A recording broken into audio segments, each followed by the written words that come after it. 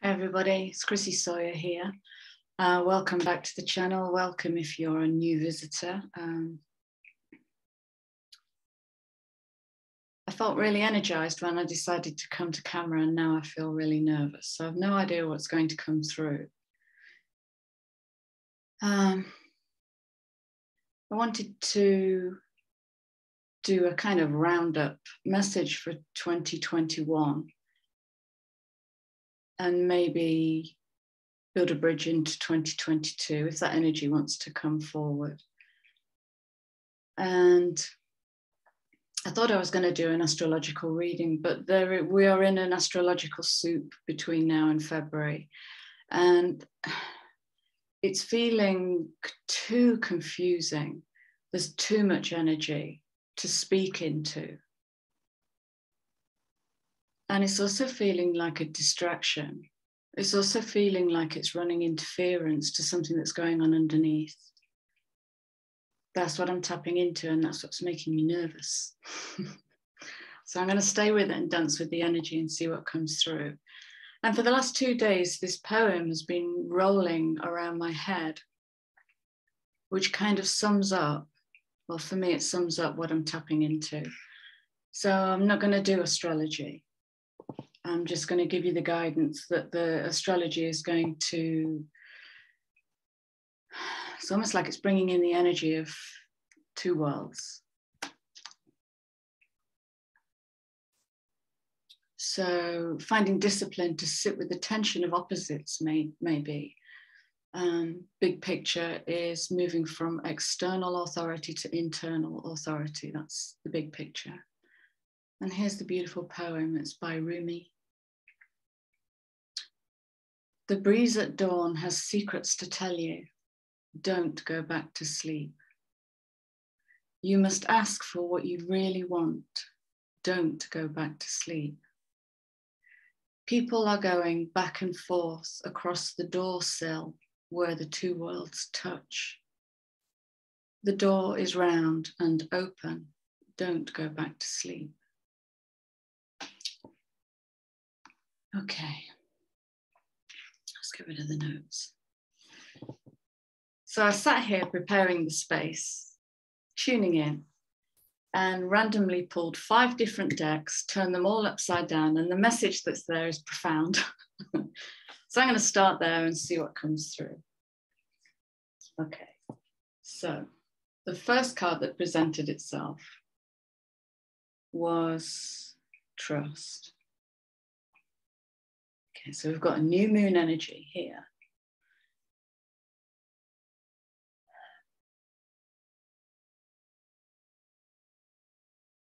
Hmm.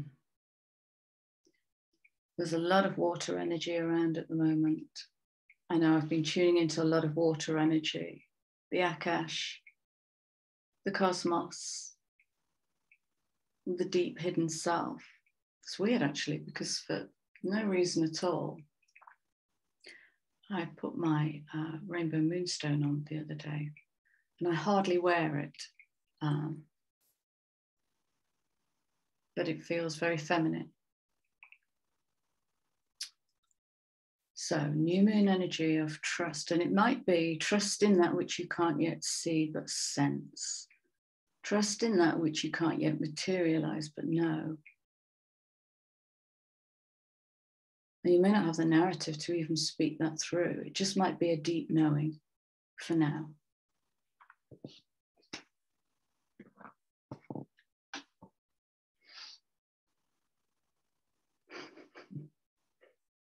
It's your knowing, wisdom. And it's that higher wisdom that might be coming in from a place for which we do not yet have language.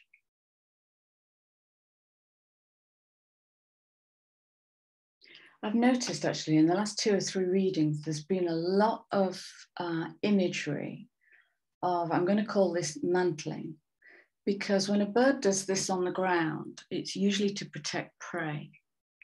It's called mantling, so it's shielding. And I really want to speak this through because I spoke into shielding energy the other day. And it wasn't met well. Let's just put, put it like that. It wasn't met well. But certainly within my collective are people who are knowingly shielding. They do not know from what. And this isn't dark ages, protect yourself. It's shielding, it's gestating, and simultaneously pupating. You know, when the caterpillar liquefies, and it's like being given a newborn, and you wouldn't do that in the middle of a shopping center, would you? You'd, you'd shield and protect. So, yeah, the wisdom of that is going to help you. Yeah, I'm just being reminded. One of the things I've done the most, kind of November and December, is is to guide some of my clients, the more open clients, to build a bubble for themselves, a bubble of energy that acts as a filter for what they want to pass through. Love, love is the default.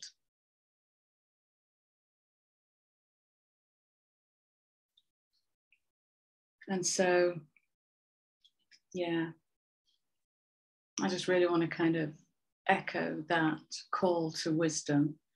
And the call to wisdom is going to challenge us to be different, to disagree, maybe, go a different path, or, or go silent when your input is being awaited upon. You know, how people give you something, then they hang on your response having the knowledge within that actually what I've got within isn't going to be met yet. And just moving to the silence of listening to that inner voice.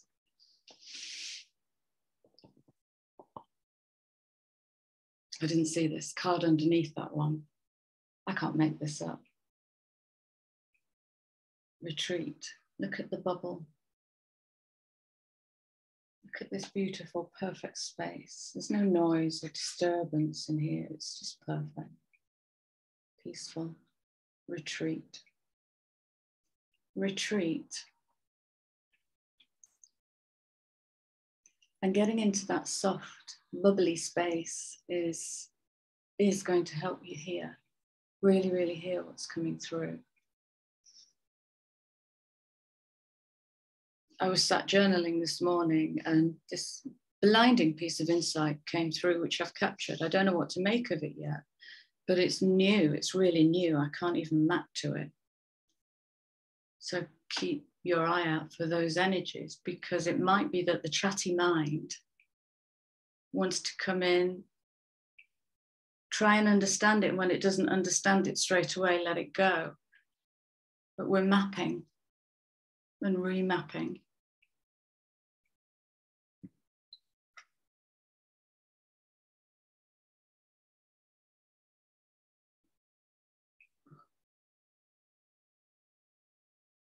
and again this goes back to how many times in a, uh, and when i say a noisy conversation i am talking about christmas. Christmas is full of noisy conversations with people you might not have seen for a while.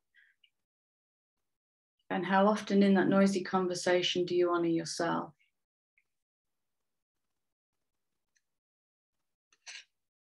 It's very personal. This reading is feeling very personal it is a real it feeling like a real gateway moment where the passing through the gateway has got to be made softly and alone.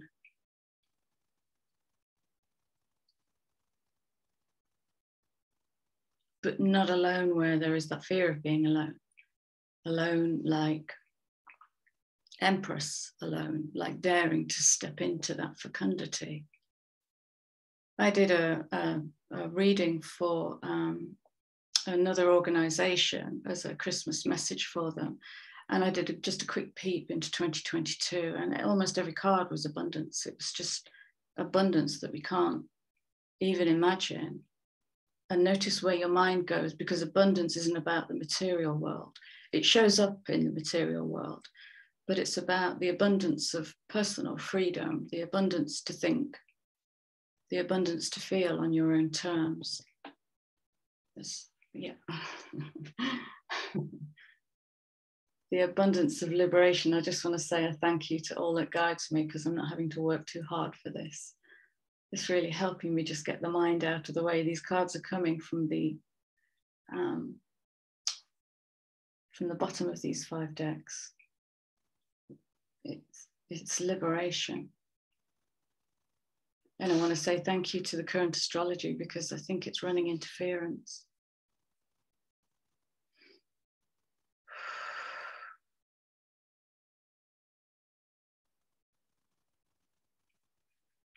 I get as I gaze into this card, I get this kind of this coiling kundalini, but it's really ancient, really, really ancient. Coming back up, and it's kind of it's the ecstasy of self. It's so I think it's dropping in to the seat of the soul. That's what's been happening since that eclipse. That December the 4th eclipse was colossal. And it's almost like the return of the soul self in a, in a more embodied way. That's the fecundity, that's the richness. Once you are partnered, repartnered with your soul self,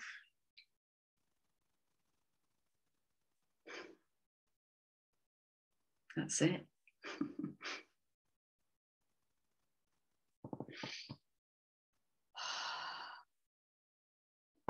And the last two cards I'll bring together because they do tell a story. So it starts with the round and round. And we can, if we so choose, keep going round and round the same narratives that have built the world in which we live. Or we can create a perfect storm, which is the courage to step into life, fully into life, soul fed into life. Look at this, birthing the cosmic egg here. I've got to say, my whole body is shaking.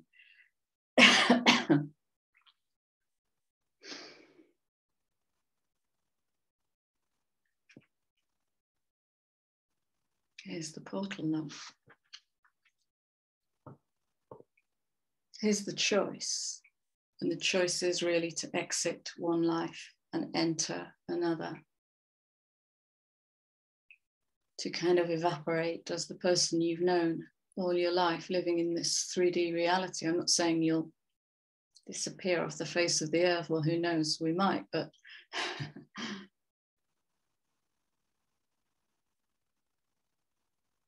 and this is change.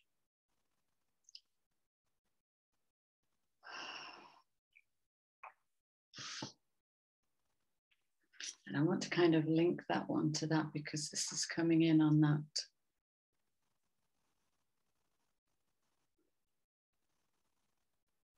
It's almost like this is the echo of, of the work that's been done, particularly this last two or three years. It's been intense. To liberate ourselves from all that wishes to control us, which is the mental. it's the noisy mental or the noisy, insecure mental the noisy, insecure, competitive mental. I could go on and on. It's just noise. It's that's distraction, constant distraction from sitting in the seat of the soul in absolute stillness in your own world, in the world that you've built. Yeah.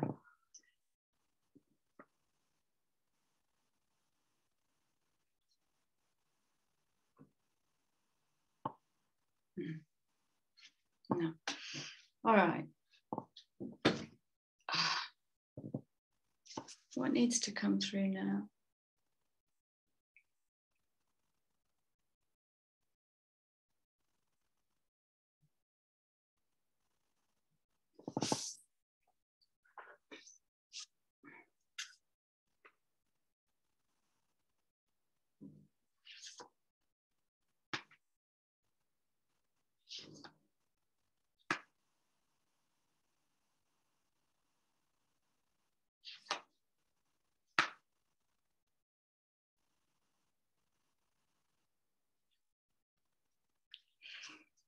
Okay.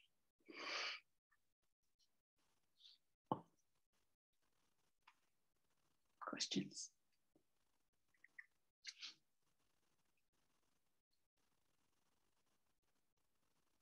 How are you being called to step up and lead? I might say to step up and take the lead in your own life. to not be led, but to be led by soul. How?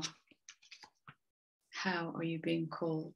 What does your sensory perception tell you? What odd thoughts are you with? Unusual feelings are you with?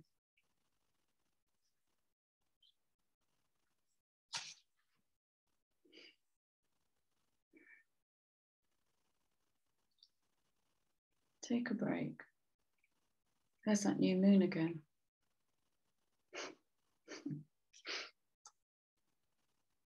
this is a life's work, not a season. Get off the treadmill, which is a bit of a challenge, really.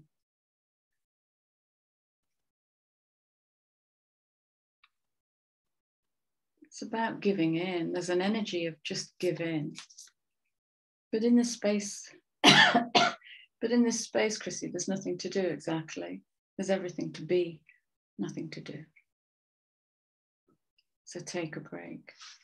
I always ask the question what's your relationship with rest? It's coming back round again.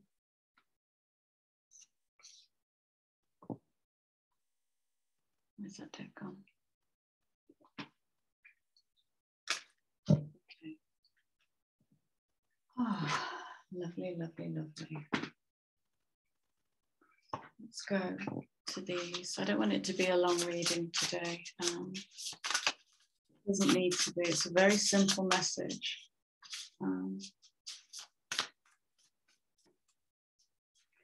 and it's not my job to reveal what is hidden, I'm being told. And this is part of the change, is to not seek instruction from without. You know, when I make myself redundant from YouTube, my work is done.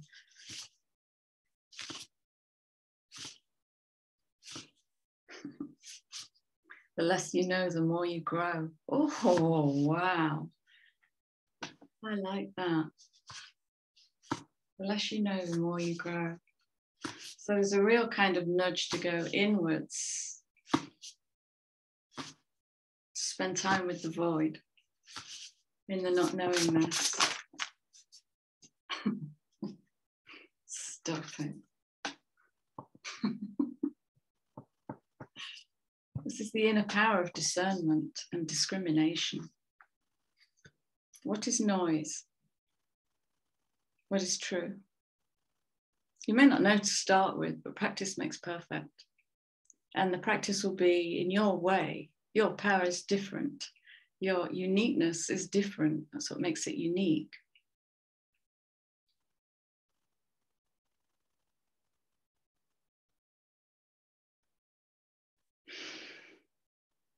Mm. So the message is to go within, to really go within for a while. As you peacefully and purposefully step through that door into, I don't know what, liberation, freedom, hmm, ecstasy. You know, this energy brings ecstasy, and it's the ecstasy of the uniting of self and soul, of corporeal self with seat of the soul, home.